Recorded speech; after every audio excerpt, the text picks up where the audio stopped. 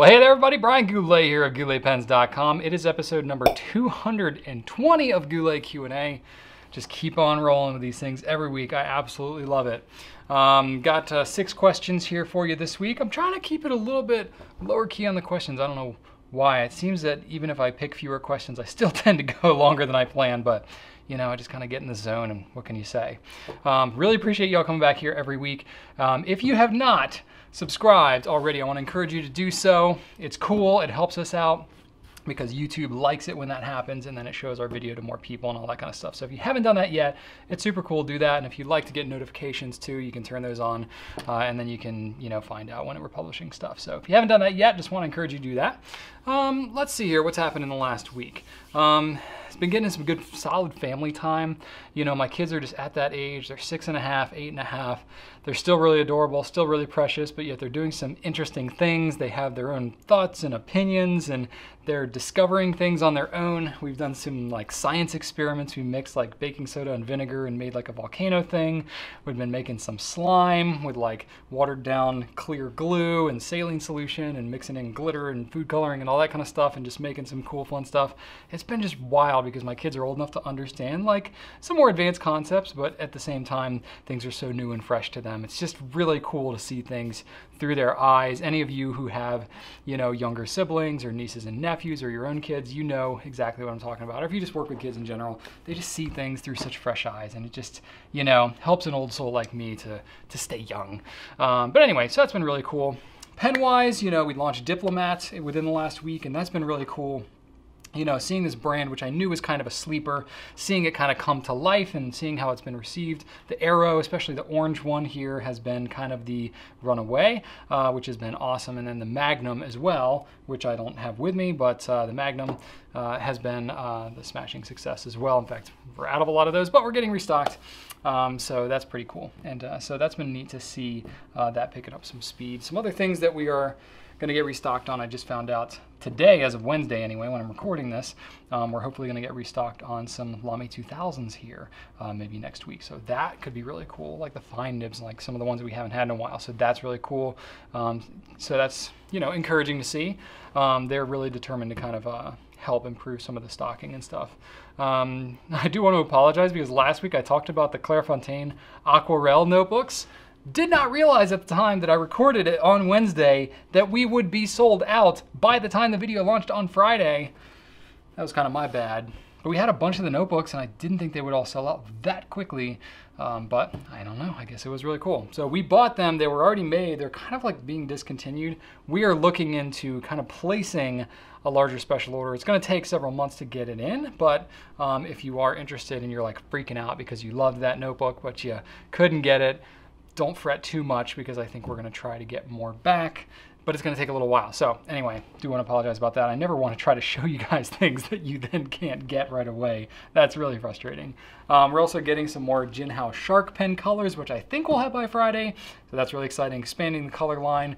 We ordered those like almost immediately after we launched the original batch that we got of five colors we're getting basically the rest of the colors that we're able to get um, and then restocking the dragon pen as well this epic dragon pen. We did try to actually order a different color dragon expand the dragon line but they don't make it anymore and all this kind of stuff. So we're going back and forth. There's language barriers there.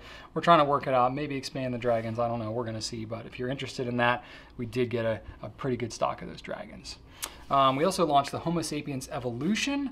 Uh, pretty interesting pen. I did write all of those in the nib nook, and the nibs are really good. It's similar similar nib to um, the tubular chromium nib, if you've ever used that on like the Millennium Arc or any of the Opera Metal or anything like that. Um, that nib is not on a ton of pens, uh, but uh, it's pretty interesting, and it's got this kind of skeleton look. And the pen itself is actually it's higher quality than I was thinking it would be. I was thinking like, oh gosh, you know, the original kind of lava Homo sapiens is so just iconic and it's just, I carry that with me daily and I love it.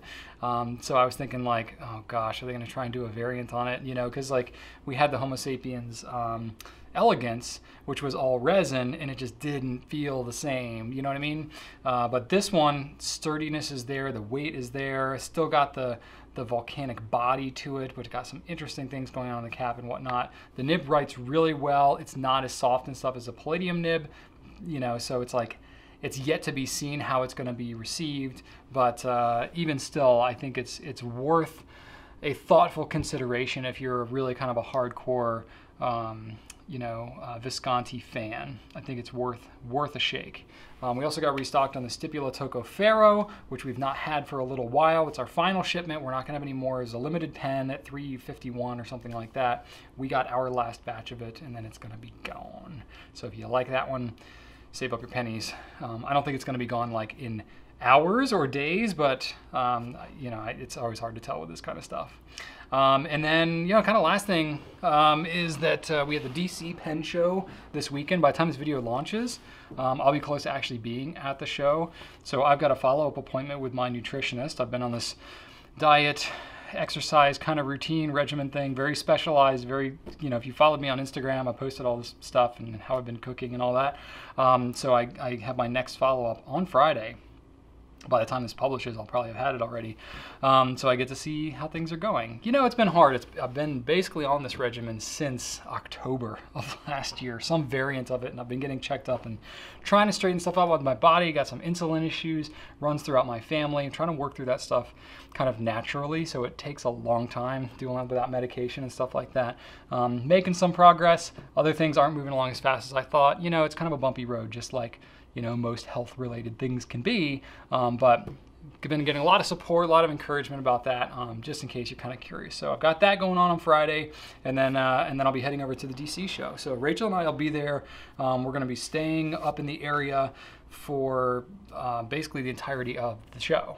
Um, so we're going to be doing some, you know, vendor relationship things, having some dinners and stuff with people that we don't normally get to see all that often, um, and also just we're not going to work a booth or anything, but we're basically just going to be at the show in the action checking things out. We got you know several different tables of people that we want to stop by. I want to check out some different brands and things that um, you know are, are, things that you guys have been asking us for if they happen to be at the show. So that'd be kind of fun. And then also um, you know just kind of there to meet you all. Anybody happens to be there. So um, we are hosting an actual meetup. Very informal, very casual basically it's you know so that people don't have to freak out if they really want to meet me or rachel or drew will be there too and we got some other members of our team that are going to be there.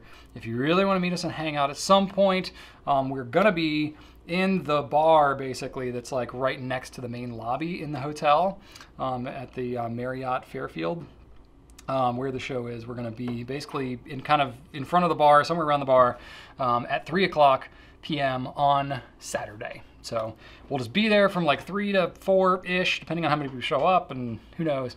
Um, but uh, we'll be around like the whole weekend basically, but we'll make it a point to be at that location at that time, so that if you're like dying to share something or, or meet us or whatever it is, it feels so weird for me to be like, come and meet me because I'm I'm such like a normal dude. Like I really don't think of myself as anybody that's that special to meet, but I get it, you know. So like we're doing that and we'll be there. And I would love to meet you if you're going to be at the show. Um, last year, it was the whole show was really crazy for me because each year I've been going. This will be the tenth year that I've gone to the DC Pen Show in a row.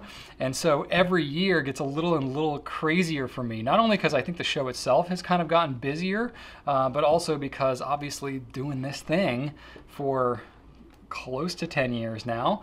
Um, obviously, kind of become more and more known. My face is out there a lot in these videos, so I get recognized a lot for doing the videos. So when I go to the show, it's it's just wild because I'm just a normal dude, like 99.5% of my life. But in that room for that weekend, it gets a little crazy for me. So it's kind of fun. Anyway, so I'll be on Instagram, brian.goulet. Uh, if you want to follow me on Instagram, I'll be doing Instagram stories and stuff kind of throughout the weekend. Should be a lot of fun. You get to hang out with some cool pen folk. Just, you know, it's my people. So um, that'll be fun. So questions for this week. Let's start out with some pen writing questions. First one is from Young Chivalrous on Instagram. Which brand offers the softest gold nib? Lamy, Pilot, Aurora, Edison, Platinum, PTL 5000A, etc. Um, yeah, I mean, you named some pretty good ones here, young Chivalrous. Um, so Pilot Falcon, you know, anything that is listed as soft, I think is gonna have to kind of take the cake as far as having a soft nib or anything flexible. I'm thinking like the Omas extra flexible and, you know, anything of course that's been modified, but I'm trying to stick more to like, um, the kind of the factory stock nibs, things that you could you know easily kind of buy and find. Um, so the Pilot Falcon with the soft nib, that one's kind of like right in there. That it's gonna be really soft. Um, so that one has to kind of go up there. You know, the Justus 95, Pilot Justus 95 could go in there too um, because it's got kind of an adjustable nib. It's a little bit of its own category, but it's about it's about a softness of the Pilot Falcon. You get good line variation with that. Um, actually has a really soft nib too. Um, you know, very very heavy spring action to it. You can get a little line variation with that.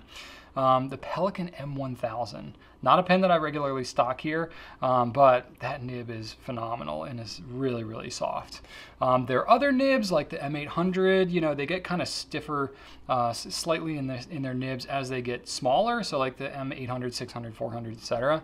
Um, but uh, the M1000 in particular, the largest one, really, really soft. Um, another pilot, the E95S, is actually surprisingly soft. They don't advertise it as soft or anything like that. It's a 14 karat nib. You wouldn't necessarily know looking at that pen how soft that nib actually is, but you can get a decent amount of spring to it. Especially, I have the extra fine one, and uh, it's it's it's pretty soft. That's really cool. Um, Edison, you mentioned Edison, so um, that, that's they've used JoWo nibs, so you could kind of lump it in with with most of the JoWo like number six especially size, gold nibs. Those are really quite soft, quite springy, very wet nibs. Um, and so they not quite as soft as like the Pilot soft nibs, but but kind of up there with the best of them. Um, Visconti, I have to throw a shout out to them in here. Technically, their nibs are not gold, they're palladium, but their palladium nibs are the equivalent of some of the softer, you know, gold nibs out there. Some of the softer, like 18 karat nibs, and um, not quite Pilot Falcon. That kind of sets the standard, but uh, that one goes up there too. Um, Lamy, Lamy's gold nibs are very, very smooth, not quite as you know, much line variation. They're smaller nibs, but they do feel really soft. They've got some spring to them. They are super smooth. So I'm gonna throw them in the mix too. Not the Lamy 2000, that nib is really pretty stiff. But the, the 14 karat like you would have on the Imporium or the, um, you know, some of the studios and CP1s and some of the some of the ones that have those gold nibs, um, they would be up there. You know, you mentioned Aurora, you threw them in here. I don't think that Aurora's nibs are really all that soft. They're kind of on the stiffer end, just like Platinum, their normal kind of 14 karat nibs are really pretty stiff. And that's kind of like the floor for me is like Platinum has some of the stiffest gold nibs that are out there with the exception of the PTL 5000A because you kind of threw that one in there. Um, that, that nib is actually pretty soft. You can actually get some line variation with that one. And it's the cheapest uh, gold nib pen that we offer. So that's uh, kind of interesting too. Um, but yeah, so um, you know, Pilot, or sorry, Platinum does have some soft nibs, you know, like we have the Kumpu, which is not going to be around for much longer if we even still have it by the time this video publishes. Um, that one has a soft medium. Uh, their soft nibs really kind of end up being a little bit more like the non-soft version of Pilot nibs. Um, so they're soft, but they're not nearly as like soft and flexy as say Pilot's soft nibs are. So, you know, there's a couple different grades there, um, but in general, their their normal like 3776 non-soft nib is, is really pretty stiff. So there you go. There's, there's a bunch of pens that I could kind of throw in the mix, but those are some of the ones that were kind of top of mind for me, kind of going off where you led me, and then some of the ones that I thought were, were most notable. Cool. All good nibs though. All right, Robert M on YouTube asked, any advice on how to find more, as Rachel said, rocker clip pens? I don't know what the official term is, but I have a pocket on my bag made of a thicker leather than usual and would like to be able to use more of that kind. Okay, so um, I think the context of what Rachel was talking about um, and what you referenced is when we did our Right Now earlier this week on Diplomat, and she had the Excellence. Um, so the the there's three different versions of the Diplomat Excellence. Um, and the one that she was referencing is kind of like the, the second version, um, which has is, is, very similar. It's got the snap cap. Um, I have an Excellence that's that's not the version that Rachel was talking about. So I if I show it, it doesn't really show you much. Um, but if you look at the right now, you can see what it is. But basically, a rocker clip is something similar to what uh, Conklin has on some of their pens. So basically, it's it's a spring clip that has kind of an extension beyond the clip that if you push on the back of it, it'll open up the clip. Does that make sense? Like if I don't know how well you can see that, but if I spring it, then you can see that it kind of opens it up and allows you to fit it over something that's pretty wide. Now, it doesn't necessarily have to be a rocker clip like this to accomplish what it is that you're talking about doing. If you've got thick clothing or you've got, you know, a messenger bag or something, jeans or something that you want to put it in, of course you always want to be intentional if you're putting it in like thick clothing, just making sure that you know, you don't have it like in your pocket with your keys if it's a pen that could be easily scratched, something like that. Anyway, bit of a tangent, but but relevant. Um, the nice thing about having a rocker clip specifically is it makes it so that you can, in one action, kind of grab it, open it up, clip it in, and then it's kind of done. As opposed to a pen that has, say, a spring clip, you know, like the Lamy 2000, you know, actually that's got a rocker clip too, now that I think about it. It doesn't have like an overhang, but that one's got a spring clip. I didn't even put that in my notes, but it has it. It's one of my favorite pens too, so you would think. So if you push on the back, of the Lamy 2000, you can get kind of that spring action as well. So um, not quite as much room as say the Conklin here or maybe even the Diplomat, um, but it can accomplish sort of the same thing where it just clips right on there. It's really handy, especially with some clips because some of them don't have, um, you know, the absolute smoothest, easiest kind of opening. So it doesn't necessarily, if you didn't have the rocker, I mean, the Lamy 2000 is not too bad. That one just kind of slides right on there. But some of them, if the, if the, you know, like the Conklin, for example, over thick clothing, it can be hard to kind of get it in there on the first try, but the rocker clip allows you to just kind of, boom, right in there. Other pens, um, I would classify more as having spring clips, not necessarily a rocker clip. So a rocker clip would really be one that you could like pinch the back of it and open it up like that. And I you know, I didn't comb through like every pen that I have. I did look through the website and I was trying to remember like which has a rocker clip and which doesn't because truth be told, we don't have like a breakdown on our website of rocker clip versus not. It's really difficult for us based on all of the different dynamics and technical specs of what we have to think of like what facets matter and how you shop and stuff like that. This is one that kind of got me scratching my head a little bit thinking, is this an important enough feature for everybody that it would be first off clear what it is and then be helpful to have it as a facet. So I thought I would at least talk about it in Q&A and get your, your wheels kind of turning and see if there was something there and us maybe diving into that a little bit deeper. But really the Conklin pens, um, not all of them, but most of the pens with the exception of the Duragraph had that rocker clip. The Excellence, Diplomat Excellence has that rocker clip. The Lamy 2000 has that rocker clip. Other than that, maybe the CP1, I don't remember. Um, but that was kind of the ones that I could remember. Maybe the Lamy Nexx, I couldn't remember that one either. Most of the other ones that were coming to my mind were ones that have a spring clip, not necessarily a rocker clip. So an example of a pen that has a spring clip would be one like the Pineider La Grande Bellezza. So that one, it has a, you know, basically has the ability to open up really wide and it has a spring that closes it as opposed to, you know, a pen like the um, Diplomat Arrow where it's just literally, you know, tension that keeps it in place and it doesn't have any spring that, um, you know, it kind of cantilevers on the back of it, um, you know, as opposed to like the La Grande Bellezza. It's, it's usually an easier motion to open that up. Spring clips usually open wider. So pens like that. Um, so ones that have spring clips, Faber-Castell has spring clips on most, if not all of their pens.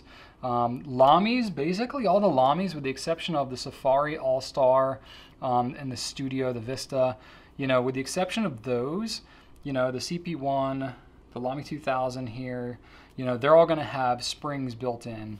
Um, the Pineider pens, the Avatar, the La Grande Bellezza, uh, and then Visconti, a lot of their pens, you know, like the Homo sapiens, And that one, um, it would be kind of nice if it had a spring clip and maybe some of like some of the pens. I can't remember all of them, but um, they almost all of them have this bridge clip.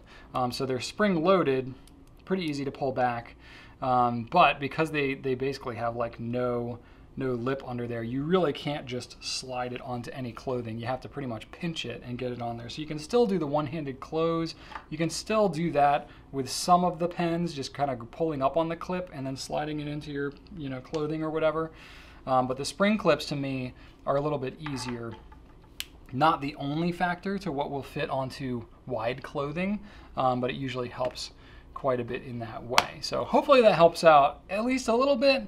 If we can think of a better way to display it and help you shop, obviously that's what we're here for and that's what we're trying to do. So maybe if you guys have any strong feelings about it one way or another, if you're like, oh my gosh, this would help so much on the website, you guys should really think about this. You know, maybe we can look to create a more intentional piece of content around this instead of just a random question in the middle of a episode 220 of Q&A, uh, or maybe we can look to build it into a feature on the site. I don't know. I'll let you all help me determine if that's um, something worth our time doing because, you know, we got no shortage of things to do. So if that's something that's interesting, let me know. All right, business question. Let's talk about this from Brian R. on Facebook. How do you reach out to pen manufacturers with critiques and suggestions or to ink producers? Okay, this is, um, you know, a, a, bit of a broad question, but a very valid one, you know, because we're dealing with a lot of products. Sometimes we're dealing with, you know, your concerns, questions, requests, quality issues, you know, all kinds of random things. And I tell you, every single day we get hit with random things across random uh, products, manufacturers, vendors, whatever you want to call it. Um, so this is one of those things where I'll, I'll speak about it somewhat in principle and then somewhat you know, kind of tactical as well. In principle, the thing I will say is part of what I view our role is in serving you as a customer and serving our manufacturer or the distributor um, is to provide education, to provide service, and really to communicate and be a liaison um, between you all as the ones who are kind of the end user of these, you know, magical products um, and the people who are manufacturing them. So um, in an ideal world, you would be able to communicate directly with the manufacturer and everything would be very clear and simple. That is not always the case. Sometimes you have excuse me, language barriers. Sometimes you have technical barriers. You just don't understand the terminology and can't speak the same language uh, in that way. Sometimes it can just be a matter of the manufacturer is very small and they just can't handle all of the feedback. They need it kind of gathered up and delivered in a constructive way. So there's a lot of different ways that that can look depending on a lot of different factors. But in principle, the idea that we have is we look to build trust and we look to build our own competence in terms of our technical ability, our technical understanding, our understanding of your needs as a customer, our understanding of their needs as a manufacturer and then trying to communicate and create a win-win scenario for everybody involved. You know, sometimes there are situations where a manufacturer has to do something a certain way. It could be a regulation thing, it could be, you know, just a physical limitations or a manufacturing capacity or skill or a design issue. Um, and it just has to be the way that it is. And it's our job to communicate that and and provide you all with that feedback other times it could be coming the opposite direction. You all are seeing something, the manufacturer maybe didn't design it that way, or they're not having that issue themselves. Any of you who are like coders or deal with IT related things, you know, it's like trying to replicate, you know, the issue. You always know, like if you're developing something, you test it in your own environment, but then once it goes out there, somebody on a certain operating system with a certain browser might have an issue that you just hadn't foreseen the same thing can kind of happen with a manufacturer making a physical product. By the time it gets to a certain location or somebody uses it in a certain way, they just didn't foresee that happening. So, you know, for us, there's a huge amount of trust that has to be built there, both with you all as customers and with our manufacturers as manufacturers. So that's that's a huge part of the role that we look to play.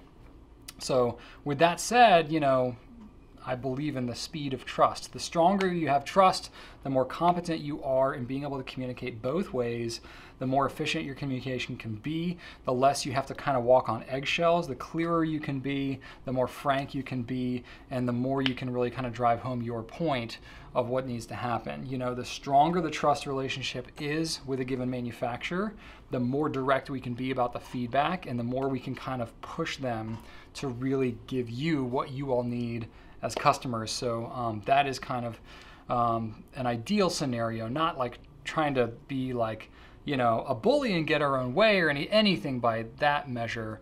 But you know, sometimes, and I'm sure you all can relate to some of this, especially if you've ever worked in retail. Um, you know, sometimes you can have very passionate feedback with completely opposing views about what should be done. So sometimes it's, it's difficult for us to kind of decipher what feedback is most meaningful and would actually be the most beneficial. Um, you know, and uh, and so we, we try to serve that up as we can uh, to our to our manufacturers. Um, but basically, what we try to do is we try to study up, really understand what it is that we're talking about, understand what it is that needs to happen as an end result, and kind of like ideologically or, in principle, you know, there's a really good book called QBQ uh, by John G. Miller. Um, and the whole idea behind that is really about personal accountability. And kind of what that looks like for us here at Goulet is that we don't we don't like to just take a complaint and drop it and leave it there and say, well, this nib is messed up and so you guys just need to fix it. And then leave it at that. We always try to say, okay, we're getting some complaints about these nibs. Let's try and get as clear a picture. We'll have some reporting. We're getting such a percentage of problems with these nibs. Here's the overall thing. We've inspected a variety of these nibs. Here's how many we looked at. This is the common issue that we see. This is what we think is causing it. And we recommend that if you all can address this, this, this, and this, then we will not have this issue anymore or it'll be significantly less. So that's what we look to do, and it's basically all behind the scenes. That's what we look to do for a manufacturer, and we find that by providing that level of information to them, it's like the most helpful thing, and it just way, way cuts down on the confusion that or the miscommunication that could happen between manufacturer and kind of the end user. Because if you're talking about, you know, manufacturer could be in Italy or Germany or Japan or whatever, and by the time all the channels of communication go through, it could be like a game of telephone where things get confused. So we try to be as absolutely clear as possible. Um, and then always make suggestions, not just complain. Um, that's kind of a, a, philosophical principle that we have here at Goulet is, is always trying to, to serve up a suggestion whenever there is any type of critical feedback or complaint that goes with it. So you know, with smaller manufacturers, you know, if we're dealing with Edison pens or something who we dealt with for a number of years, and um, you know, we know they're they're not that big. Usually, the communication be pretty direct, can be pretty quick. If we're giving feedback to Pilot or Lamy or you know, global companies that are that are you know dealing with thousands or maybe even tens of thousands of retailers across the country, it can be very difficult across the world. Uh, it can be difficult to communicate that as clearly as, say, a smaller manufacturer. So we really have to kind of um, take the approach, you know, uh, individually uh, as far as what the issue is and who it's going to and all that kind of stuff. So um, we're happy to do that, though. There's always a lot to learn, kind of in both directions, and um, and we just love doing that process. And we try to we try to uh, focus on, you know, it's just really one of the things that that we're here to do. Um, so yeah, that's a little insights for you. Trying to give you some some value add on that question. All right, I uh, actually have three sort of personal questions to, to, to round out the latter half of this Q&A here. Uh, the first one is from Ed D on Facebook. With all the pen shows, social media, and YouTube channels that are around, what community venue or forum do you think the pen community could benefit from having that we don't currently have? I thought this was a really interesting question because the landscape has changed a little bit since I've been looking at things in the last nine years or so. And I'm gonna take a sip of water while I uh, think about answering this question. Okay, um, it's true, there's a lot of different communities out there you know, and me thinking back to kind of where everything was centralized back when I first got into fountain pens in 2009, it looks it looks a little different than it does now. Um, if you think about in 2009, Um, Instagram had not yet been invented. um, YouTube was around, uh, but it was uh, you had a 10 minute limit on video length that you could post on YouTube, uh, and uh, it was just not not as widely used as it is today, especially for kind of like business educational purposes uh, and product related things. Um, let's see here. Pinterest had not yet been invented. Snapchat had not yet been invented. Facebook looked very different. They didn't have Facebook business pages. Advertising, I don't even know if it was a thing back then or it was in its infancy. So just businesses had not gotten onto there yet. Um, and there were no like, you know, groups around you know niche hobbies like this so much back then. You had message boards, you had forums. You know, the Fountain Pen Network was the leading forum at the time, um, and you had a lot of bloggers who were doing things. Not so much YouTubers and and uh, things like that. Uh, and, so social Twitter was around, but like social media back then was not nearly as developed, especially for the pen community. Um, at the time, it was really it was kind of like the Wild West a little bit. So there was some of that conversation going on, um, but everybody was kind of gathered around the Fountain Pen Network and then some other like blogs and kind of just going around. I remember blog readers were a thing. Like I used to use Net NetNewsWire, uh, and so I had like 50 different blogs that I was following, and so I would it would automatically download all the blog articles into my blog reader every day. You know, Google Reader and things like that. For any of you who uh, want to throw back, Google discontinued that, and NetNewsWire. I don't even know what happened to that. I've changed computers two times since then and never downloaded the program. So it's you know it's evolved and it's changed quite a bit over the time. So you know these days I think a lot of the pen community stuff. I mean, Fountain Pen Network is still there. It's still got kind of its own thing. There's also like a Fountain Pen Network Facebook group that's a private group. You know, we have Goulet Nation that we created kind of as a private group uh, on on Facebook. So there's a lot of Facebook private groups. Um, message boards are not so much of a thing, but you have like Reddit has been invented since then. So Reddit uh, has become kind of a message board, and the you know the our fountain pens on Reddit is is is alive and well. Um, so you end up with kind of like these larger kind of social communities where niche interests like that end up happening uh, around fountain pens, but it's more natively on a given platform than it is like there's an entire forum or an entire community that's created from scratch just on fountain pens. That seems to be a little more rare because I think, you know, just people only have so much time. And so generally you're going to be, if you're going to be on Instagram, you want to be following some fountain pen stuff, but you want to be following some whatever, woodworking stuff like I do. Um, for any of you who are looking at my watch and are interested, I have to mention this at some point here because I know I'm going to get asked about it. But this is my new watch that I just got yesterday by Original Grain. Not affiliated with them in any way, but uh, you know, American-made watches, and it's got like wood face and you know components to it, which is pretty cool. So I love woodworking. I like watches. So having a watch with wood on it is pretty cool to me. So I follow some like woodworking stuff. So you know, they, they got me on Instagram. Like, oh, I caught an ad in my Instagram feed and they, they nabbed me. Um, so that's, uh, that happens. Um, they didn't nab me. I, I saw it and it was appealing and I clicked on it. I've been following them for a while. Anyway, so, uh, you know, it's just the kind of thing like a lot of people now are involved more already in their social platforms because that's just kind of representative of the general parts of their life. It's less like, I'm going to go into this forum about Canon cameras because I shoot Canon. Uh, I'm going to go into this forum on whatever, fountain pens. I'm going to go on this forum on parenting. You know, some of that might happen, but, you know, really if I can capture a lot of that kind of in one place, in one feed on a social platform, that might help. And then I can see, you know, kind of influencers or people that I might follow and respect. And what are they linking to? Who are they pointing to kind of scattered throughout the internet? It's a little more curated now than it was back in the day. So it has evolved a little bit. I know I haven't answered any of your question yet. I've been talking just about history.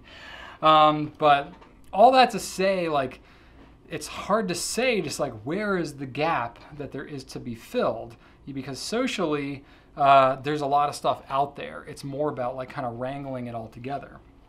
Um, you know, obviously there's things like YouTube channels and, and, you know, Facebook groups, you know, Instagram like hashtags and other things like that. Um, there's a couple of like needs that I think there could be met that maybe aren't like hitting the nail on the head in the pen community right now. And uh, you know, obviously, if there was something that was such a gaping hole and it was easy to tackle, uh, I and my team would be inspired to try to do that. You know, um, so you know, maybe I'm not like giving away secrets of anything we're working on it right now, but these are just kind of some things, right? Ideas I'm rattling around um, idealistically that would be like, yeah, you know, something out there could be good. Or maybe if you know of something where you're like, oh, Brian, this is already happening, you just don't know what's going on, man. Uh, let me know in the comments. Let my team know in the comments, and we can kind of have that on our radar. But anyway, here's kind of top of mind some of the things. Um, you know, I'm thinking about. Um, people that are into pens meeting up locally, right? Like there's some pen shows that happen throughout the country. Certainly, there's way, way more organization that could happen around pen shows online. You know, there's more meetups, there's more stuff like that that could happen around the pen shows themselves. I'll just leave it at that. The people that are usually organizing the pen shows are completely disconnected from how to capitalize on social media to make that happen. So, uh, I am not the solution for that, but I recognize that as a major opportunity to help make pen shows more interesting.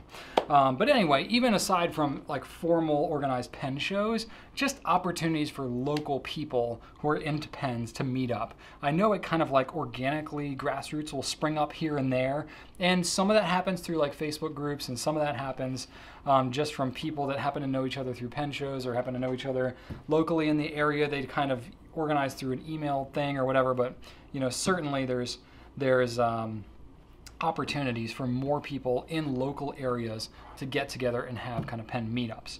Um, so that's I'll just kind of leave that hanging out there. I know you know even in our our local area in Richmond here through Goulet Nation that has been something that's sprung up and there's been one or two meetings so far that have happened there. So but there's no like one kind of central place where that happens. It's very organic. It certainly could be an opportunity for, for something more organized.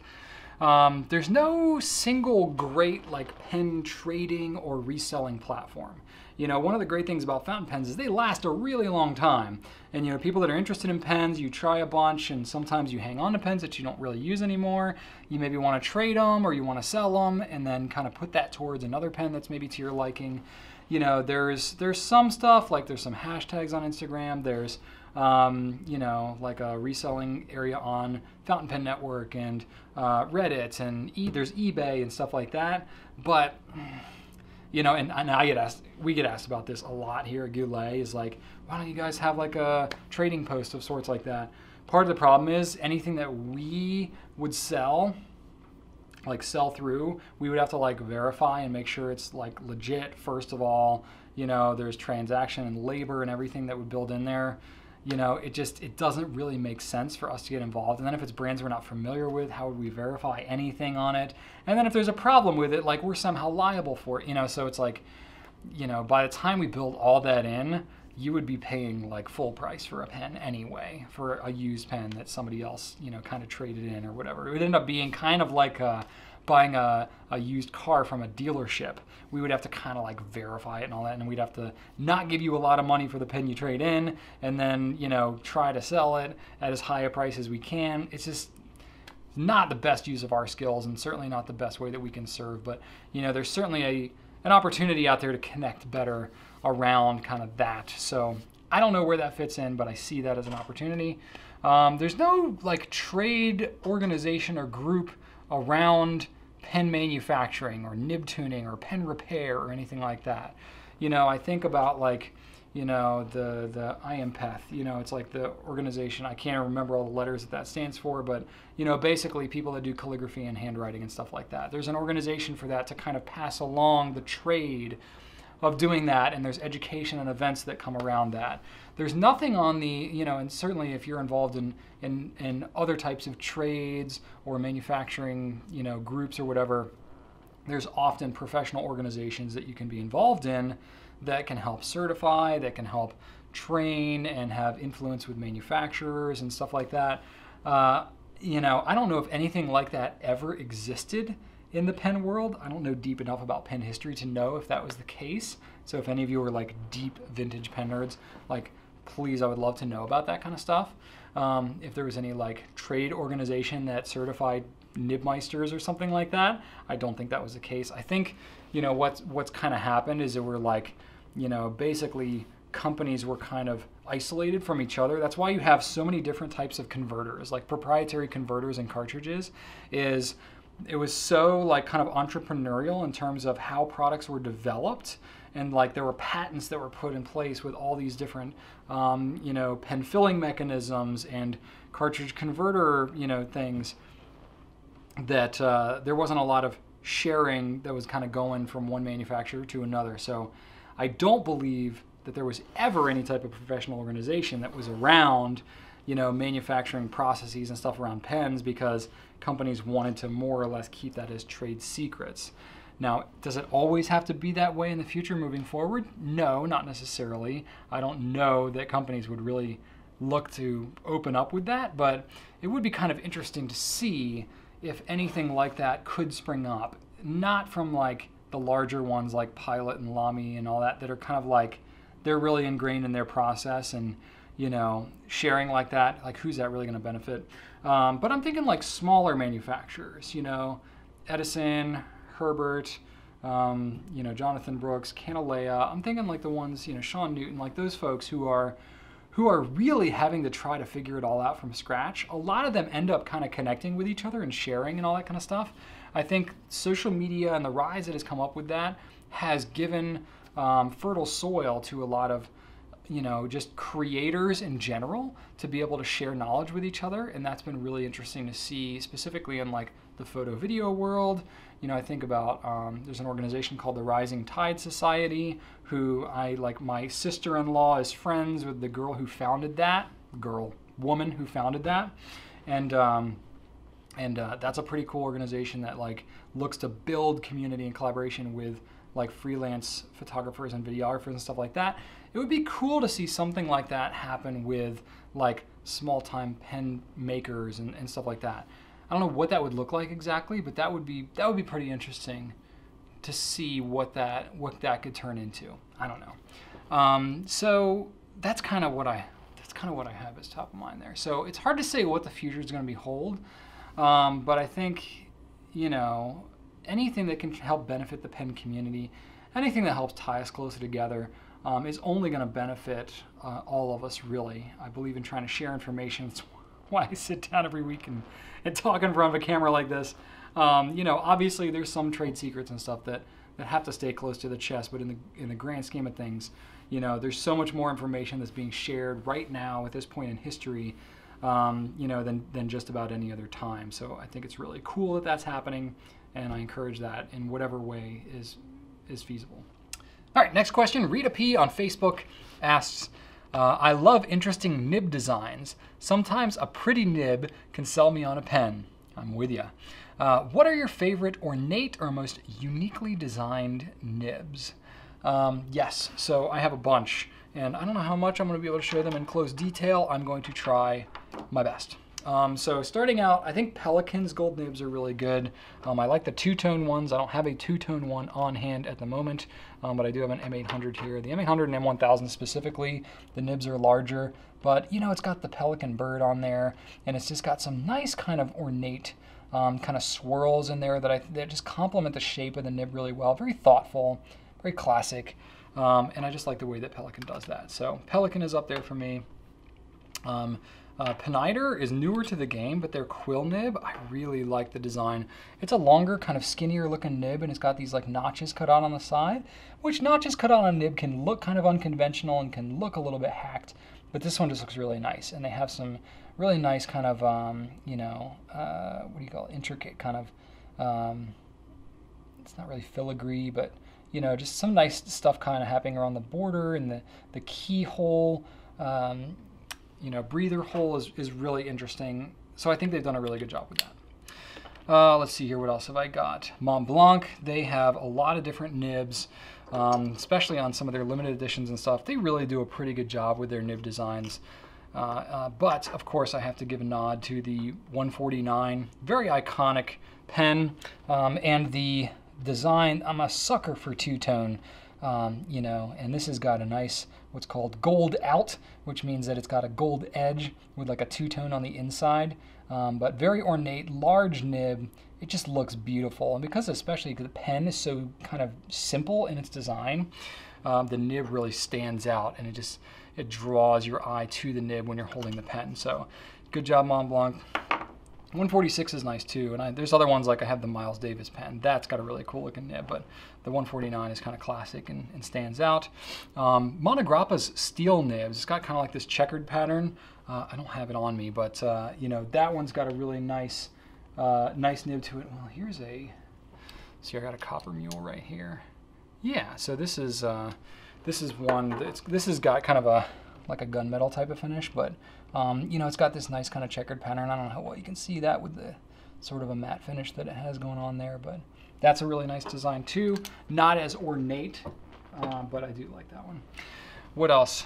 Uh, Namiki's larger nibs are really nice, especially, you know, the two-tone ones are like some of the fancier Pilot, like I have a Pilot Custom 845, Urushi. Um, there's also the Pilot Custom Urushi, which has an even bigger nib, but that one's got a nice two-tone as well. Kind of like the Mont Blanc, it's got that gold out edge, um, but just, you know, nice big nibs. I like big nibs that have a lot of real estate to them. Uh, and then I am, again, kind of a sucker for two-tone. And then I like nibs with a nice pattern, lots of swirls and and uh, interesting things going on. You know, just flourishes, I guess would be the right word for that. Flourishes. What else we got here? Um, you know, Visconti's nibs. Again, another two-tone. I'm really, I really am a sucker for two-tone. You know, I got the Homo sapiens. I carry that around a lot, but they're larger palladium nibs. Really nice, attractive nibs there. You know, it's got almost like a, not a fleur-de-lis, but almost like that kind of design on it, which is really nice. Um, Lamy has some nice um, on their 14 carats. Of course, I like the I like the Lamy 2000. It's very simple, just kind of plain. But you know, they're they're 14 karat, like kind of interchangeable nibs. This one is a Lamy Imporium. Something about the black and gold. It's just you don't see that a lot on a nib, and that one's kind of interesting. Of course, there are other 14 karat nibs that they have which is just the silver with the gold in the middle too, is also really nice. So I think those much simpler, different kind of shape, but I, I am jiving with that. Um, and then, you know, a couple interesting pens that I have that that have uh, inlaid nibs. Just you don't see a lot of inlaid nibs these days. Um, I have a Waterman Carene, and then I have a um, Pilot Sterling. Both of these are inlaid nibs, different ones. This is the Waterman one uh, right over here that's got kind of this like Star Trek kind of looking inlaid nib to it. Um, and then the larger inlaid nib is the Pilot. And that one's really pretty cool. And then I forgot to grab a pen that I really, really love the nib. Um, one of my favorite, very kind of simplistic designs. Let me actually grab it out of my cabinet because I do love it a lot. Okay. So this one is very simple but it has one of the coolest designs, and a lot of you know what it is just by looking at it. It's the Pilot M90, and one of the coolest things about this particular nib is that it is built into the pen. It's a stainless steel pen in the nib. It's just so seamless, not ornate by any means, but just it's so clean looking. And the tipping and everything is built right into literally the body of the pen. And the feed too, just, oh, the shape of that feed, just so clean and crisp and it has kind of that like vintage modern look to it. You know what I mean? Sort of like a contemporary house from the 80s or 90s. You know, it has that classic modern look, if that can, if that makes any sense. I don't know if that's the right terminology. Um, Sailor also has some really nice nibs. I don't know their nibs as well because I don't have a lot of experience with them, but they all, they do a really good job with their nib designs too. So anyway, I could go on about all different types of nibs because I think there's a lot of companies that do a really good job with nibs. Um, but I, I'm, I'm a fan of the two-tones, I'm a fan of the flourishes and larger nibs, or just really interesting like inlaid stuff. Um, that that kind of hits me in the, in the right note. All right, last question for this week. Um, Dylan and Dylan and Illy. Dylan Dylan Dilly. Okay, I don't know if I said that right, but you're on Instagram. You've been doing this for many years. What is the one thing that keeps you motivated and drive you to do such an awesome job? Well, first off, thank you for the implicit question that I am doing an awesome job. I'm going to take this as a very personal question. You know, I'm very proud of my team. Um, you know, obviously speaking for 40-ish people, there's a lot of different things that motivate them. Um, but, you know, I'm going to speak just with this question to what personally motivates me. And I think maybe it'll resonate for some of you and give you a little insight into whatever the mind of me. So I could list a lot of things because, frankly, I just love what I do. And even as hard and stressful as it can be sometimes, being a business owner, having kind of the responsibility that I have, putting myself out here in video a lot, um, you know, definitely the pros far outweigh the cons. There's a lot of there's a lot of things that I kind of think about when I think about why do I really why do I get motivated to do what I do. Um, but by far, the number one thing that motivates me to do what I do is a sense of calling or a sense of purpose towards this. And of course, that's like the the holy grail of having a job, right? Is like feeling like you're meant to be doing it. Um, and I've worked before in jobs or like I've had things I've studied in school or internships I've taken or short-term jobs that I did where I was really trying and I worked really hard and I liked the work, but I just didn't feel like that is where I was ultimately meant to be. Um, but ever since I discovered the fountain pen, even like earlier when I, I was trying so hard to make pen making work in my early years, but even still, it was always like I was kind of spinning my wheels in the mud. And I thought it was where I was meant to be long term, but the data was telling me otherwise with just how successful I was able to make the business during those years. Once I kind of pivoted and Rachel and I started focusing on fountain pens, things really started to click into place and it was like, oh, this is what it's all been leading to. And then for the last nine years or so, it's been, wow, look at what can happen when things start to hit in the right way. Um, so that sense of purpose, like finding like, ah, that's why I had to do that for so many years, or that's what this experience was leading up to, and seeing it all fall into place doesn't mean that things have been easy or that I've known what to do every step of the way. Um, but you know, it has been a really crazy series of events that kind of led me to where I am right now and led me into this business. Um, but I really do feel like I'm meant to be doing what I'm doing. Um, you know, so it's it's kind of fitting that I'm getting this question right before the DC Pen Show. It's kind of why I took this one um, because this show in particular kind of marks that anniversary of recognizing the fountain pen community and just realizing like man, there's really something to fountain pens here. I should really explore this. And it was that catalyst that really led me into all this. Um, so every year when the DC show comes up, uh, it really just kind of marks that period in my life where things just really started to change uh, for the better. Um, so it's that said, you know, um, it's not always clear how I should be doing what I do. Uh, in fact, that's a lot of what I spend my time trying to figure out. Most of my life, when I've had moments of clarity, it's been like, ah, this is the avenue I should pursue, or this is the end goal of what should happen. But it's super like foggy and out there as far as the how the steps that should be taken to make that happen. And most uh, and maybe it's because I'm like more on the visionary side than like the detail oriented side. Um, that's why I'm like so wildly inconsistent sometimes with the terminology I use or the way that I talk about certain things. It's because I'm way more big picture than details. Um, that's where Rachel balances me out quite a bit. Um, so, with that said, I spend so much of my time, probably 90% of my time, figuring out how things should be done. Um, you know, uh, John Maxwell, um, author, has written like 80 something books. I don't know. Um, he has a concept that he calls the leadership lid. Okay, and uh, basically the idea is that an organization can only grow as much as the leaders who run it. And I feel that on a daily basis.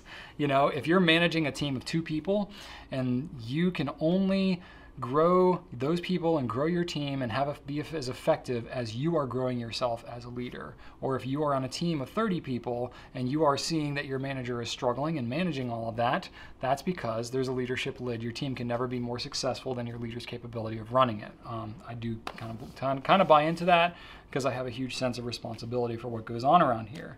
Um, kind of a little bit more of satirical, a little more tongue in cheek, is uh, something called the Peter Principle. If any of you are familiar with that, Laurence J. Peter came up with this this idea, um, which states that every employee is promoted to the highest level of his or her incompetence.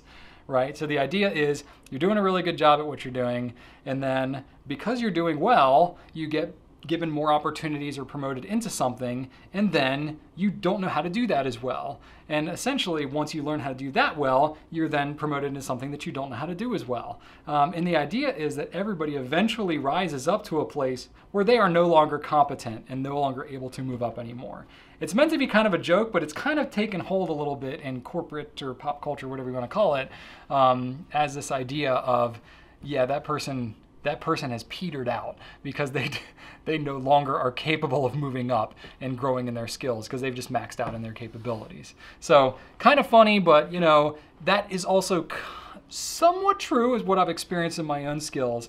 Um, I feel like somewhat of a combination, not quite that bad, but a somewhat of a combination of this idea of a leadership lid kind of Peter Principle thing of coming from just me and Rachel in our dining room growing this company you know, once I learn a skill or figure out a process, in order to continue to grow the organization, I then need to train it, delegate it away, figure out a process to automate it or whatever, and therefore I'm no longer doing it or I'm kind of overseeing or responsible for it, but I'm not I'm not doing the things that I've mastered anymore. And I now have to take on something that's brand new and I have no idea what I'm doing, or I have somewhat of an idea, but I have to learn the skills. So I spend the vast majority of my time basically trying to do something that I haven't do or gain a new skill or uh, do something where I feel largely incompetent. If I have to give the big secret, and I'm sorry for anybody on my team that thinks that there's like just some masterful wisdom that's bestowed upon you when you start a business, but it's usually actually quite the opposite. When you start a business and you realize taxes and HR stuff and all of the financials and runnings of a business and operations and shipping and all this stuff, customer service. There's so many different things going on that it really opens up your eyes and you just feel completely overwhelmed and incompetent. That's why a lot of small businesses have a hard time even just gaining traction and figuring out a business to get off the ground at all.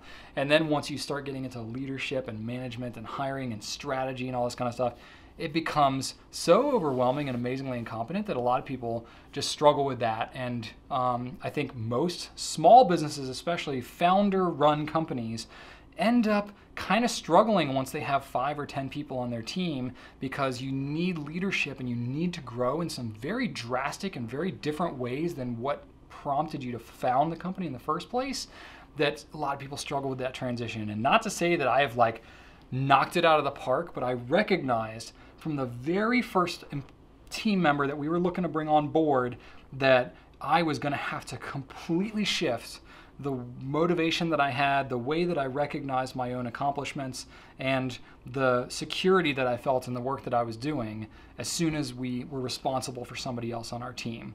And that has only magnified with the more people that we've had on our team.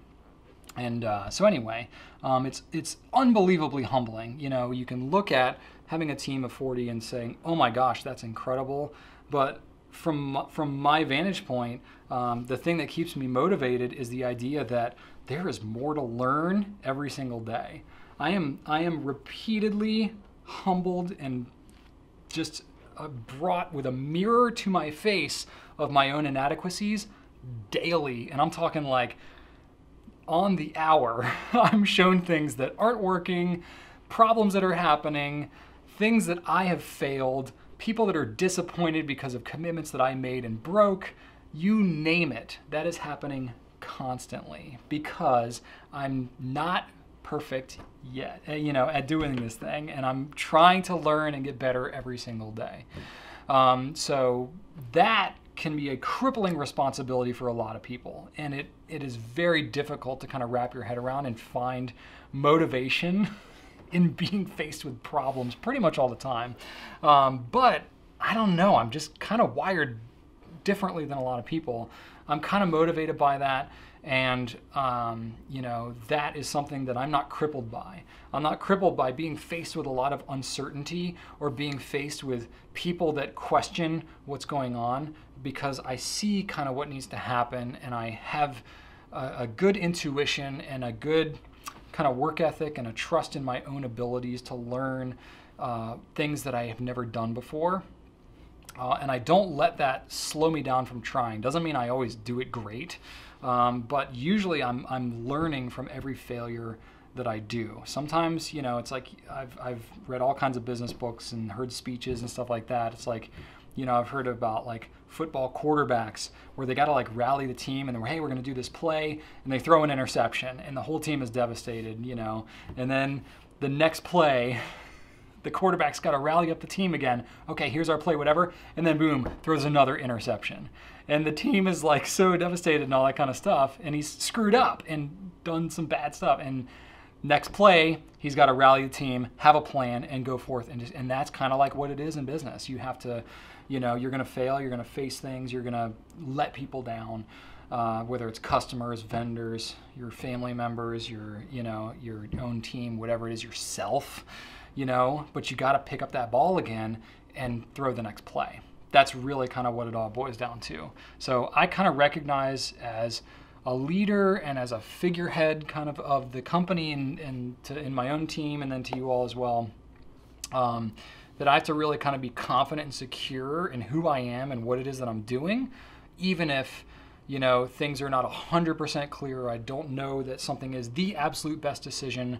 I got to try to make up the gap with my own intuition and willingness to make it right if something is to fail. So my kind of bow that I'm going to put on this question is my greater sense of calling towards kind of living this life because this life of a leader, this life of a business person, an entrepreneur, whatever you, however you want to package whatever this thing is that I'm doing, um, you know, I feel called into doing that. As crazy as it is, and as hard and stressful as it can be sometimes, I know that I'm kind of wired for that. So that's what gives me my motivation every day. It's not money, it's not fame to whatever degree within the pen community. Those are all there's some nice sides to that. There's some not nice sides to to to some aspects of it, just like there is for everybody. You know, if you're a beekeeper, there's going to be some amazing benefits to that that I will never see. Um, you know, because I'm not a beekeeper there's also going to be some downsides. It's like that for everybody. The grass can always be greener, but it's if you have a sense of calling and purpose towards whatever it is you're doing, as humble or as glorifying as that thing may seem, um, that is going to be the best thing and the thing that's going to make you the happiest is feeling like you're doing what you're meant to do. So there you go. There's my short answer. then I'll wrap up Q&A nicely this week. My question of the week for this week is kind of coming off the question I had earlier here. Uh, what type of venue or social organization or whatever do you think that the fountain pen community could benefit from the most right now that maybe doesn't already exist or just needs to be developed more? I'd be really curious to get your feedback on that because I think it's a really interesting question.